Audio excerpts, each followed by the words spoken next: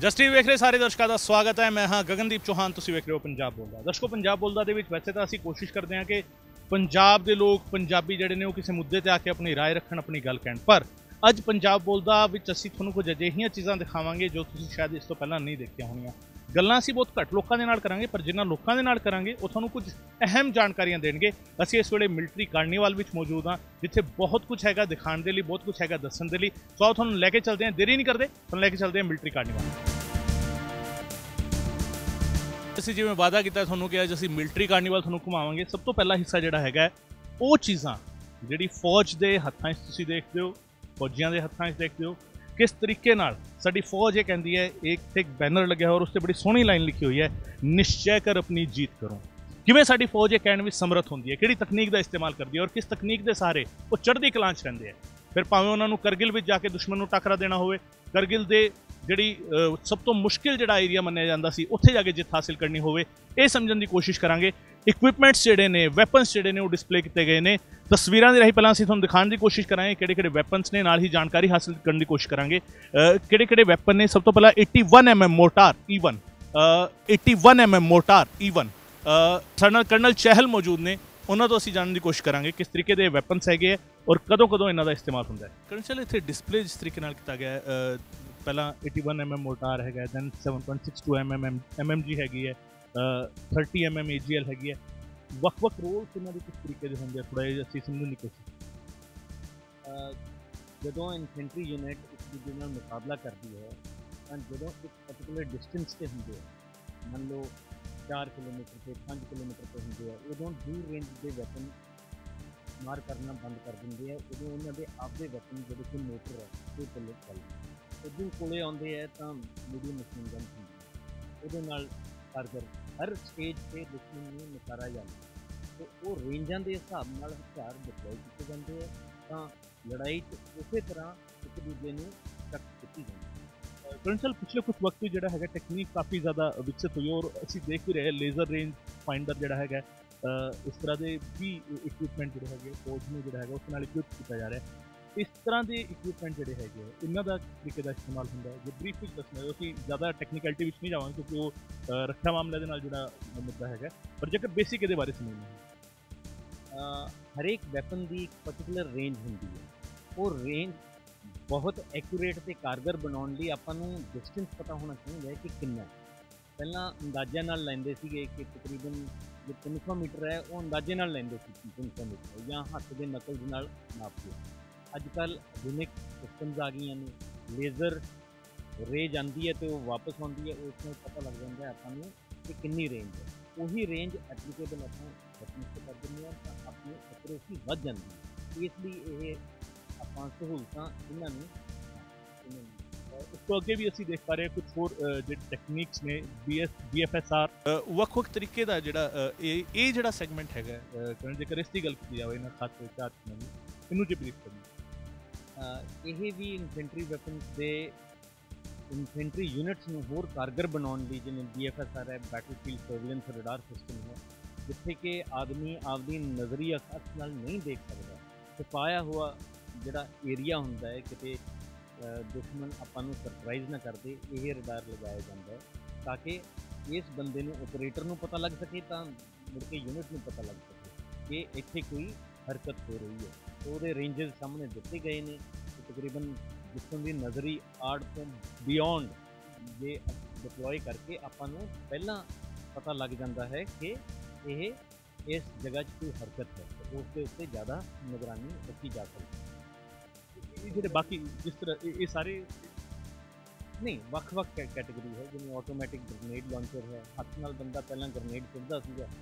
ਤੇ ਉਹ ਤਕਰੀਬਨ ਵੱਧ ਤੋਂ ਵੱਧ 50 ਮੀਟਰ ਤੋਂ ਜਾਂ 100 ਮੀਟਰ ਤੱਕ ਸਿੱਧੂ ਵੱਧ ਜਾਂਦਾ ਨਹੀਂ ਸੀਗਾ। ਇਹਨਾਂ ਦੀਆਂ ਰੇਂਜਾਂ 4-4 ਕਿਲੋਮੀਟਰ ਤੱਕ ਆਪਾਂ ਗ੍ਰੇਨੇਡ ਲਾਂਚ ਕਰ ਸਕਦੇ ਹਾਂ ਤਕਨੀਕ ਦੀ ਜੰਗ ਹੈਗੀ ਹੈ ਜਿਹੜੀ ਅੱਜ ਦੇ ਦੌਰ ਵਿੱਚ ਜਿਹੜਾ ਹੈਗਾ ਉਹ ਤਕਨੀਕ ਦੀ ਜੰਗ ਜਿਹੜੀ ਹੈਗੀ ਹੈ ਕਾਫੀ ਅਹਿਮ ਹੈ ਔਰ ਉਹ ਤਕਨੀਕ ਦਾ ਹੀ ਡਿਸਪਲੇ ਜਿਹੜਾ ਹੈਗਾ ਆਰਮੀ ਦੇ ਵੈਪਨਸ ਤੁਸੀਂ ਦੇਖ ਸਕਦੇ ਹੋ ਵੱਖ-ਵੱਖ ਵੈਪਨ ਜਿਹੜੇ ਨੇ ਇਨਸਾਸ ਵੀ ਇੱਥੇ ਮੌਜੂਦ ਹੈ ਅ, 9mm ਮਸ਼ੀਨ ਪਿਸਟਲ ਵੀ ਇੱਥੇ ਮੌਜੂਦ ਹੈ 9mm CMG ਵੀ ਇੱਥੇ ਮੌਜੂਦ ਹੈ ਬਾਕੀ ਹਥਿਆਰ ਵੀ ਹੈ ਕਿ 47 ਵੀ ਇੱਥੇ ਰੱਖਿਆ ਸਨਾਈਪਰ ਵੀ ਇੱਥੇ ਰੱਖੀ ਹੋਈ ਹੈ। ਸੋ ਅਸੀਂ ਉਹ ਹਥਿਆਰ ਦਿਖਾਏ ਜਿਹੜੇ ਫੌਜੀ ਜਦੋਂ ਮੈਦਾਨ ਵਿੱਚ ਹੁੰਦੇ ਆ, ਜਦੋਂ ਆਮਨੇ ਸਾਹਮਣੇ ਲੜਾਈ ਹੁੰਦੀ ਹੈ ਬਹੁਤ ਨੇੜੇ ਜਦੋਂ ਦੂਜੀ ਦੁਸ਼ਮਣ ਦੀ ਫੌਜ ਹੋਵੇ ਉਹਨਾਂ ਦੇ ਨਾਲ ਮੁਕਾਬਲਾ ਹੁੰਦਾ ਹੁਣ ਇਹ ਜਿਹੜੀ ਤਕਨੀਕਾਂ ਜਿਹੜੇ ਤੁਸੀਂ ਇੱਥੇ ਕੁਝ ਗੱਡੀਆਂ ਵੀ ਦੇਖ ਰਹੇ ਹੋ ਔਰ ਕੁਝ ਤੋਪਾਂ ਵੀ ਵੇਖ ਰਹੇ ਹੋ ਇਹ ਉਹਨੇ ਜਿਹੜੀ ਦੂਰੋਂ ਜਦੋਂ ਲੜਾਈ ਹੋ ਰਹੀ ਹੈ ਉਸ ਵੇਲੇ ਇਸਤੇਮਾਲ ਹੁੰਦੀਆਂ ਨੇ। ਕਰਨਲ ਚਹਿਲ ਸਾਡੇ ਨਾਲ ਮੌਜੂਦ ਨੇ ਉਹਨਾਂ ਤੋਂ ਹੋਰ ਜਾਣਕਾਰੀ ਲੈਣ ਦੀ ਕੋਸ਼ਿਸ਼ ਕਰ ਰਹੇ ਹਾਂ। ਕਰਨਲ ਚਹਿਲ ਇਹ ਡਿਸਪਲੇ ਜਿਹੜਾ ਹੈਗਾ ਇਹਦੇ ਬਾਰੇ। ਇਹ ਮਿਲਟਰੀ ਡਿਸਪਲੇ ਜਿਹੜਾ ਹੈ ਇਹ ਬੇਸਿਕਲੀ ਆਪਾਂ ਜਨਤਾ ਨੂੰ ਇਸ ਪ੍ਰਤੀ ਜਾਗਰੂਕ ਕਰਦੇ ਹੋਏ ਦਿਖਾਇਆ ਗਿਆ ਹੈ। ਆ ਬ੍ਰਿਜਿੰਗ ਇਕਵਿਪਮੈਂਟ ਹੈ ਜਿਹੜਾ ਤੁਹਾਨੂੰ ਬੀ BEML ਟਾਟਾ ਟਰੱਕਸ ਦਿਖ ਰਹੇ ਨੇ। ਇਹ ਫਟਾਫਟ ਕੁਛ ਹੀ ਮਿੰਟਾਂ ਵਿੱਚ ਇੱਕ ਬ੍ਰਿਜ ਤਿਆਰ ਕਰ ਦਿੰਦੇ ਹੈ ਜਿਹੜਾ ਕਿ ਜਿਹਦਾ ਕਿ ਸਪੈਨ 8 ਮੀਟਰ ਜਾਂ 10 ਮੀਟਰ ਜਾਂ 16 ਮੀਟਰ ਡਿਪੈਂਡਿੰਗ ਅਪਨ ਜਿਹੜੀ ਬ੍ਰਿਜ ਦੀ ਸਾਈਜ਼ ਹੈ ਉਸ ਦੇ ਬਾਰੇ ਜਿੰਨਾ ਆਪਾਂ ਨੂੰ ਲੋਡ ਹੈ ਨੈਗੋਸ਼ੀਏਟ ਕਰਨਾ ਹੈ ਜਿੰਨਾ ਆਬਸਟੀਕਲ ਉਸ ਦੇ ਉੱਤੇ ਬ੍ਰਿਜ ਲਗਾਉਣ ਦਾ ਕੰਮ ਆਉਂਦਾ ਆਹ ਜਿਹੜੀ ਆਰਟਲਰੀ ਹੈਗੀ ਹੈ ਕਰਨਲ ਇਹਦੇ ਬਾਰੇ ਵੀ ਜਾਣਨਾ ਚਾਹੁੰਦਾ। ਇਹ ਜਿਹੜੀ ਆਰਟਲਰੀ ਤੁਸੀਂ ਦੇਖ ਰਹੇ ਹੋ ਇਹ ਹਾਵਿਟਜ਼ਰਸ ਕਹਿੰਦੇ ਆ ਇਹਨਾਂ ਨੂੰ ਤਕਰੀਬਨ 15 ਕਿਲੋਮੀਟਰ ਦੇ ਲਗਭਗ ਇਹਨਾਂ ਦੀ ਰੇਂਜ ਹੁੰਦੀ ਹੈ ਜਿਹੜੀ ਕਿ ਦੂਰੋਂ ਮਾਰ ਕਰਦੀ ਹੈ। ਠੀਕ ਹੈ ਨਾ? ਆਰਟਲਰੀ ਦਾ ਇਕਵਿਪਮੈਂਟ ਹੈ। ਤੇ ਕਹਿੰਦੇ ਨੈਕਸਟ ਜਿਹੜਾ ਸੈਕਸ਼ਨ ਹੈਗਾ ਇਹ ਬੜੇ ਖਬਰਾਂ 'ਚ ਆਉਂਦੀ ਰਹਿੰਦੀ ਹੈ। ਵੋਫਸ ਗਨ ਜਿਹਨੂੰ ਆਪਾਂ ਕਹਿੰਦੇ ਆ ਮੈਂ ਗੈਸ ਕਰ ਰਿਹਾ ਸੀ ਕਿ ਸ਼ਾਇਦ ਤੁਸੀਂ ਆਲੇ ਦੁਆਲੇ ਘੁੰਮ ਰਹੇ। ਹਾਂਜੀ ਹਾਂਜੀ ਇਹ ਬੋਫਸ ਗਨ ਹੈ। ਉਹ ਪੋਲੀਟੀਕਲ ਰੀਜ਼ਨਸ ਲਈ ਕਿਸੇ ਨਾ ਕਿਸੇ ਤਰੀਕੇ ਨਾਲ ਉਹ ਨਿਊਜ਼ ਆਉਂਦੀ ਰਹਿੰਦੀ ਹੈ, ਪਰ ਅਦਰਵਾਈਜ਼ ਇਹ ਬਹੁਤ ਹੀ ਕਾਰਗਰ ਵੈਪਨ ਹੈ। ਠੀਕ ਹੈ ਨਾ? ਇੱਕ- ਸਵਾਲ ਇੱਥੇ ਆ ਰਿਹਾ, ਕਿਉਂਕਿ ਬੀਇੰਗ ਅ ਜਰਨਲਿਸਟ ਇਹ ਸਵਾਲ ਆਣਾ ਲਾਜ਼ਮੀ ਵੀ ਹੈ। ਇਹ ਉਹੀ ਫੋਰਸ ਹੈ, ਜਿਸ ਤੇ ਪੋਲੀਟੀਕਲੀ ਬਹੁਤ ਸਾਰੇ ਸਵਾਲ ਹੋਏ, ਬਹੁਤ ਸਾਰੇ ਕੁਐਸਚਨਸ ਹੋਏ। ਜਦੋਂ ਅਸੀਂ ਕਰਗਿਲ ਵਿੱਚ ਸੀਗੇ, ਉਸ ਵੇਲੇ ਜਿਹੜਾ ਜਿੱਥੇ ਤੱਕ ਮੇਰੀ ਜਾਣਕਾਰੀ ਹੈ ਫੈਮ ਨੋਟ ਕਰੈਕਟ ਤੁਸੀਂ ਮੈਨੂੰ ਕਰੈਕਟ ਵੀ ਕਰ ਸਕਦੇ ਹੋ, ਇਹੀ ਬੋਫੋਰਸ ਸੀਗੀ, ਜਿਸ ਦੀ ਇੱਕ ਅਹਿਮ ਭੂਮਿਕਾ ਰਹੀ ਹੈ ਕਰਗਿਲ ਜਿੱਤਣ ਦੇ ਵਿੱਚ। ਹਾਂਜੀ, ਬਿਲਕੁਲ। ਇਹ ਇਹ ਬਹੁਤ ਹੀ ਕਾਰਗਰ ਰਹੀ ਹੈ ਬੋਫਸ ਡਿਊਰਿੰਗ ਕਾਰਗਿਲ ਐਂਡ ਉਹ ਚੀਜ਼ ਅਲੱਗ ਹੈ, ਜਿਹੜੀ ਚੀਜ਼ ਆਪਾਂ ਨਿਊਜ਼ ਤੇ ਸੁਣਦੇ ਹਾਂ but as far as the efficiency of the weapon is concerned there is no parallel ਬਹੁਤ ਹੀ ਚੰਗਾ ਵੈਪਨ ਹੈ ਤੇ ਚੰਗੀ ਤਰ੍ਹਾਂ ਯੂਜ਼ ਹੋ ਰਹੀ ਹੈ। ਕਿੰਨੇ ਸਾਲ ਹੋ ਗਏ ਨੇ? ਅੱਜ ਵੀ ਇਹ ਉਨਾ ਹੀ ਐਡਵਾਂਸ ਫੀਚਰਸ ਨਾਲ ਜਦੋਂ ਦੀ ਆਪਾਂ ਲਿਖੀ ਹੈ, ਅੱਜ ਵੀ ਇਹ ਮਹੱਤਵ ਰੱਖਦੀ ਹੈ। ਕਹਿਣਾ ਲੱਗੇ ਜਿਹੜੇ ਟੈਂਕ ਖੜੇ T90 ਔਰ ਬਾਕੀ ਜਿਹੜੇ ਵਾਹਨ ਖੜੇ ਨੇ? ਇਹ ਜਿਹੜਾ ਅੱਗੇ ਟੈਂਕ ਹੈ T90 ਇਸ ਦੇ ਮਾਡਲ ਹੈ। ਇਹ origignal ਇਹਦਾ ਰਕਸ਼ਨ ਰਕਸ਼ਨ origin ਤੋਂ ਹੈ ਇਹ। ਤੇ ਤਕਰੀਬਨ 50 ਟਨ weight ਹੁੰਦਾ ਹੈ। ਆਧੁਨਿਕ ਹਥਿਆਰ ਹੈ। ਅੱਜ ਕੱਲ ਹੋਰ ਵੀ ਐਵਿਓਨਿਕਸ ਨਾਲ ਇੰਜਨ ਬਦਲਿਆ ਗਿਆ ਹੈ। ਮੋਰ ਪਾਰ ਦਿੱਤੀ ਗਈ ਹੈ। ਆਪਣੇ ਆਮਡ ਰੈਜੀਮੈਂਟ ਦਾ ਟੌਪ ਦਾ ਹਥਿਆਰ।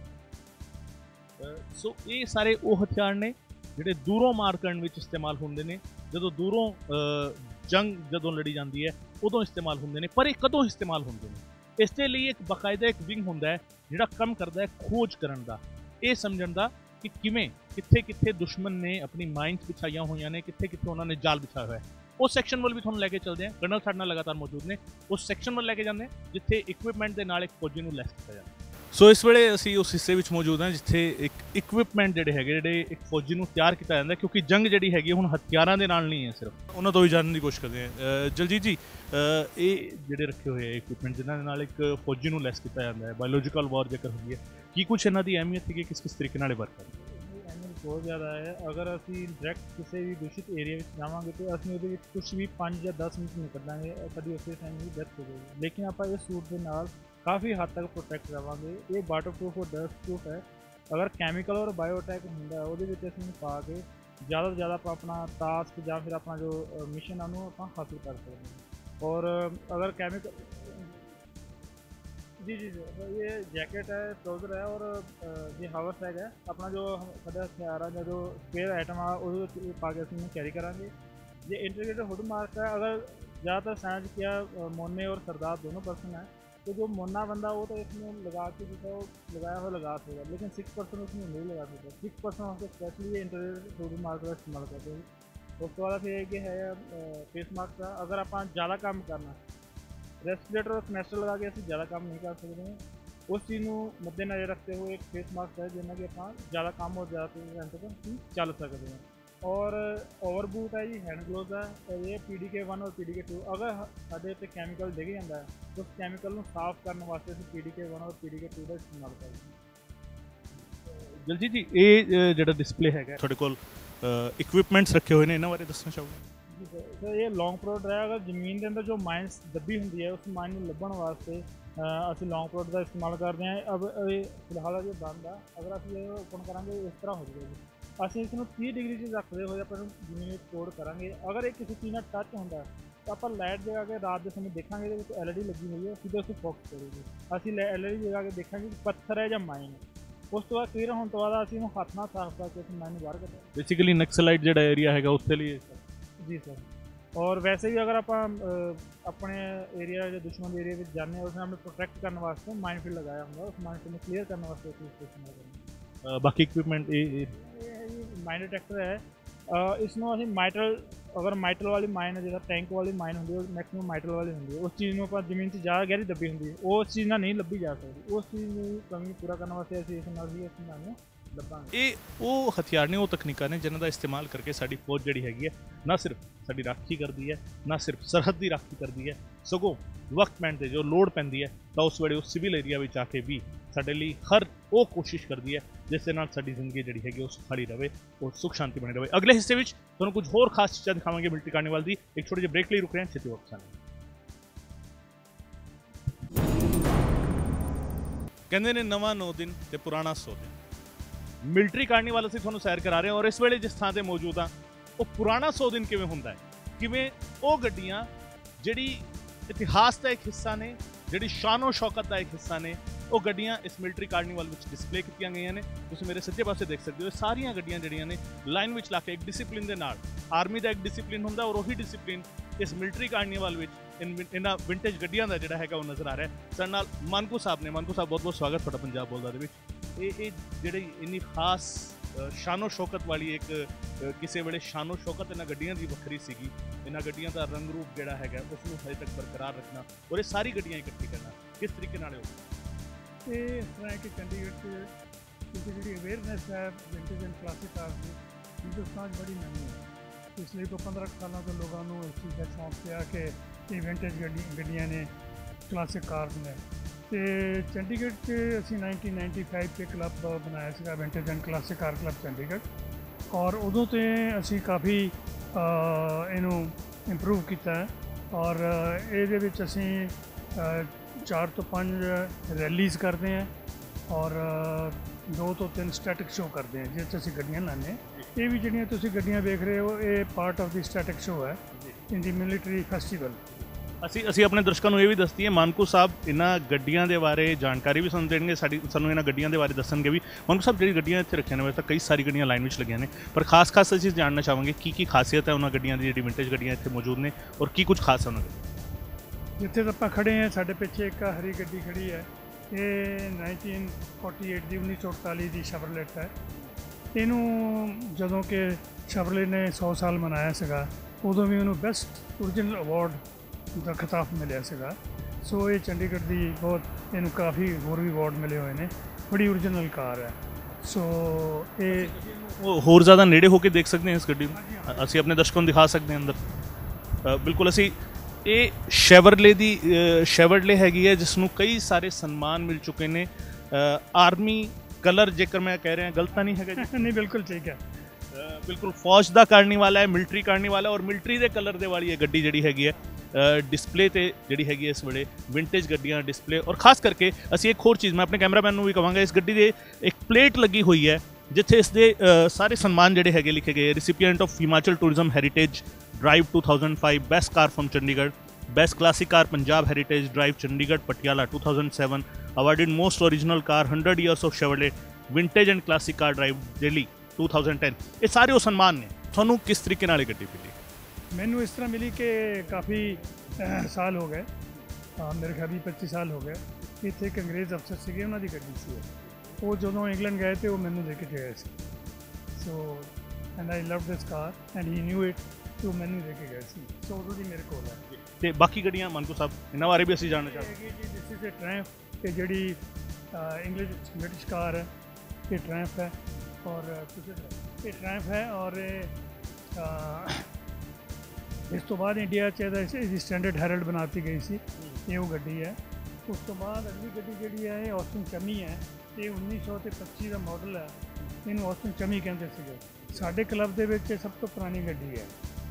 ਤੇ ਉਸ ਤੋਂ ਇਹ ਇਹ ਗੱਡੀ ਕੁਝ ਇਸ ਤਰ੍ਹਾਂ ਦੀ ਹੈ ਇਸ ਤਰ੍ਹਾਂ ਦੀ ਗੱਡੀ ਸ਼ਾਇਦ ਅਸੀਂ ਪੁਰਾਣੀਆਂ ਫਿਲਮਾਂ ਵਿੱਚ ਵੀ ਕਈ ਵਾਰ ਦੇਖੀ ਹਾਂਜੀ ਜਿਨ੍ਹਾਂ ਨੂੰ ਟਮਟਮ ਕਹਿੰਦੇ ਸੀਗੇ ਇਹ ਉਹੋ ਜਿਹੇ ਤਰੀਕੇ ਦੀ ਇੱਕ ਗੱਡੀ ਹੈ। ਔਰ ਬਹੁਤ ਛੋਟੀ ਜੀ ਗੱਡੀ ਹੈ। ਔਰ ਬਹੁਤ ਹੀ ਖੂਬਸੂਰਤ ਗੱਡੀ ਹੈ। ਉਸ ਤੋਂ ਅਗਲੀ ਗੱਡੀ ਜਿਹੜੀ ਹੈ ਫੋਰਡ ਦੀ ਗੱਡੀ ਹੈ ਇਹ ਵੀ ਇੰਗਲੈਂਡ ਦੀ ਗੱਡੀ ਹੈ it's an English Ford not the American Ford ਔਰ ਇਹ ਕਨਵਰਟੇਬਲ ਟੂਰਰ ਗੱਡੀ ਹੈ ਇਹ 1932 ਦਾ ਮਾਡਲ ਹੈ 1932 and similarly if we coming eh, this is a beetle beetle चूँकि uh, it's popular all over the world this is a 1968 beetle ਇਹ ਇਹ ਹੈਗੀ ਜੀ ਮੋਰਿਸ ਹੈ ਇਸ 1956 ਦੀ ਮੋਰਿਸ ਹੈ ਇਹ ਵੀ ਬਹੁਤ ਖੂਬਸੂਰਤ ਬਹੁਤ ਖੂਬਸੂਰਤ ਤਿਆਰ ਹੋਈ ਹੋਈ ਹੈ। ਔਰ ਇਹ ਇਹ ਉਹਨਾਂ ਗੱਡੀਆਂ ਚੋਂ ਹੀ ਹੈ ਜਿਨ੍ਹਾਂ ਨੂੰ ਅ, ਅਸੀਂ ਰੂਫ ਫ੍ਰੀ ਵੀ ਕਰ ਸਕਦੇ ਓਪਨ ਵੀ ਕਰ ਸਕਦੇ ਔਰ ਕਵਰ ਵੀ ਕਰ ਸਕਦੇ ਹਾਂਜੀ ਹਾਂਜੀ ਇਹਨਾਂ ਨੂੰ ਕਨਵਰਟੇਬਲ ਕਹਿੰਦੇ ਹਾਂ ਆਪਾਂ। ਟੂਰਰ ਵੀ ਕਹਿੰਦੇ ਆ ਅੰਗਰੇਜ਼ੀ ਚ ਕਨਵਰਟੇਬਲ ਵੀ ਕਹਿੰਦੇ ਆ ਛਾਤੇ ਦੀ ਕੱਪੜੇ ਦੀ ਲੱਗ ਵੀ ਜਾਂਦੀ ਹੈ ਉੱਤਰ ਵੀ ਜਾਂਦੀ ਹੈ। ਉਸ ਤੋਂ ਬਾਅਦ ਜਿਹੜੀ ਅਗਲੀ ਕਾਰ ਤੁਸੀਂ ਦੇਖ ਰਹੇ ਹੋ this is a very unique car ਜੀ ਖਾਸੀਅਤ। ਇਹਦੀ ਖਾਸੀਅਤ ਇਹ ਹੈ ਕਿ ਇੱਕ ਤਾਂ ਨਾਰਥਰਨ ਇੰਡੀਆ 'ਚ ਇਕੱਲੀ ਗੱਡੀ ਹੈ। ਇਹਦੇ ਨਾਲ ਦੀ ਹੋਰ ਕੋਈ ਗੱਡੀ ਨਹੀਂ ਹੈ। ਇਹ ਫ੍ਰੈਂਚ ਕਾਰ ਹੈ, ਇਹਦਾ ਨਾਮ ਸਿਟਰੋਨ ਹੈ। ਔਰ ਇਹਦੀ ਜਿਹੜੀ ਯੂਨੀਕ ਫੀਚਰ ਹੈ, ਕਿਉਂਕਿ ਲੋਕਾਂ ਨੂੰ ਜਾਗਰਤੀ ਫਰੰਟ ਵੀਲ ਡਰਾਈਵ ਦੀ ਹੁਣ ਹੋਈ ਹੈ, ਲੇਕਿਨ ਇਸ ਕੰਪਨੀ ਸਿਟਰੋਨ ਨੇ ਫ੍ਰੈਂਚ ਕੰਪਨੀ ਨੇ ਇਹਦਾ ਜੋ ਜਿਹਨੇ ਬਣਾਈ ਸੀ, ਉਹਦਾ ਨਾਮ ਸੀ ਐਡਰੈਸ ਸਿਟਰੋਨ ਉਹਨੇ ਇਹ 1934 ਚ ਫਰੰਟ ਵੀਲ ਡਰਾਈਵ ਗੱਡੀ ਬਣਾਤੀ ਸੀ। ਇਹ 1938 ਦੀ ਹੈ ਫਰੰਟ ਵੀਲ ਡਰਾਈਵ ਹੈ। ਇਹਦਾ ਸਭ ਤੋਂ ਜਿਹੜਾ ਬੈਸਟ ਫੀਚਰ ਹੈ, ਇਹਦਾ ਗੇਅਰ ਬਾਕਸ ਅੱਗੇ ਹੈ। ਇੰਜਨ ਪਿੱਛੇ ਹੈ ਔਰ ਫਰੰਟ ਵੀਲ ਡਰਾਈਵ ਹੈ। It's a very unique and a rare sort of thing which you don't find ਨਹੀਂ ਤਾਂ ਪਹਿਲਾਂ ਇੰਜਨ ਹੁੰਦਾ, ਫਿਰ ਗੇਅਰ ਬਾਕਸ ਹੁੰਦਾ, ਫਿਰ ਫਰੰਟ ਵੀਲ ਡਰਾਈਵ ਹੁੰਦੀ ਬਟ ਇਹਦਾ ਸਾਰਾ ਕੁਝ ਉਲਟਾ। ਸੈਕੰਡ ਦੀ ਬੀਟਲ ਹੈ।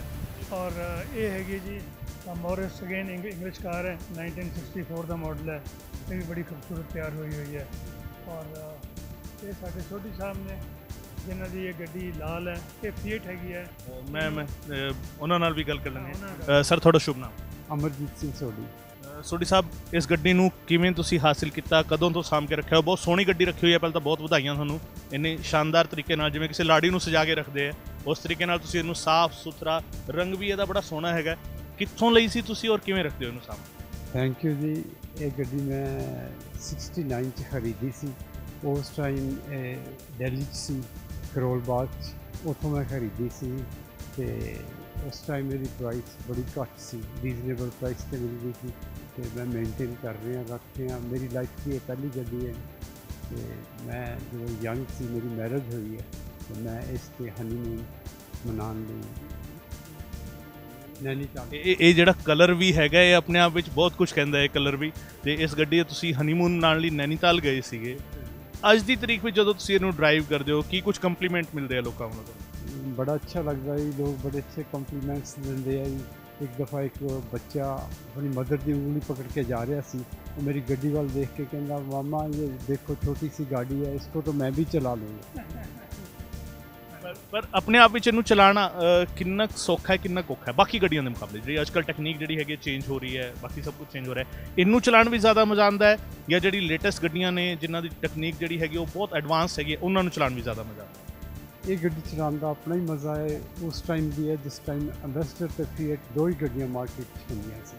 ਉਸ ਟਾਈਮ ਵੀ ਬਹੁਤ ਅੱਛੀ ਹੈ ਬਹੁਤ ਅੱਛੀ ਚੱਲ ਰਹੀ ਹੈ ਬੜਾ ਮਜ਼ਾ ਆਉਂਦਾ ਚਲਾਉਣ ਬਹੁਤ ਬਹੁਤ ਸ਼ੁਕਰੀਆ ਤੁਹਾਡੇ ਸਾਹਿਬ ਸਾਡੇ ਨਾਲ ਗੱਲ ਕਰਨ ਲਈ ਅ, ਸੋਹਣੀ ਗੱਡੀ ਔਰ ਖੂਬਸੂਰਤੀ ਇਸ ਦੀ ਦੇਖੀ ਜਾ ਸਕਦੀ ਹੈ ਕਿੰਨੀ ਖੂਬਸੂਰਤੀ ਨਾਲ ਉਹਨਾਂ ਨੇ ਰੱਖਿਆ ਹੋਇਆ ਹੈ ਇਹ ਅਗਲੀ ਗੱਡੀ ਜਿਹੜੀ ਹੈ ਫੀਟ ਹੈ ਇਹ 1962 ਮਾਡਲ ਦੀ ਹੈ ਤੇ ਅਗਲੀ ਗੱਡੀ ਜਿਹੜੀ ਹੈ ਤੁਸੀਂ ਦੇਖ ਰਹੇ ਹੋ ਇਹ ਮੋਰ ਮਰਸੀਡੀਜ਼ ਹੈ ਮਰਸੀਡੀਜ਼ ਦਾ ਜਿਹੜਾ ਇਹ ਮਾਡਲ ਹੈ ਇਹ 71 ਦਾ ਮਾਡਲ ਹੈ ਤੇ they don't come into our vintage classic car category vintage ਜਿਸ ਨੂੰ ਅਸੀਂ ਕਹਿੰਦੇ ਆ ਉਸ ਵਿੰਟੇਜ ਦਾ ਐਕਚੁਅਲ मीनिंग ਹਾਂਜੀ ਇਸ ਤਰ੍ਹਾਂ ਗੱਲ ਹੈ ਜੀ ਕਿ ਵਿੰਟੇਜ ਦਾ ਇਹ ਇੱਕ ਵਰਡ ਬਾਡੀ ਹੈ ਇੰਗਲੈਂਡ 'ਚ ਨੇ ਉਹ, ਉਹਨਾਂ ਨੇ ਕਟ ਆਊਟ ਡੇਟ ਰੱਖੀ ਹੋਈ ਹੈ।